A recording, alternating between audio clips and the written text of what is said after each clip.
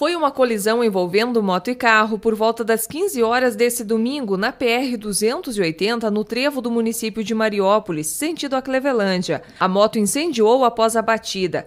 O atendimento ao ocupante da moto foi iniciado por uma equipe da saúde de Mariópolis.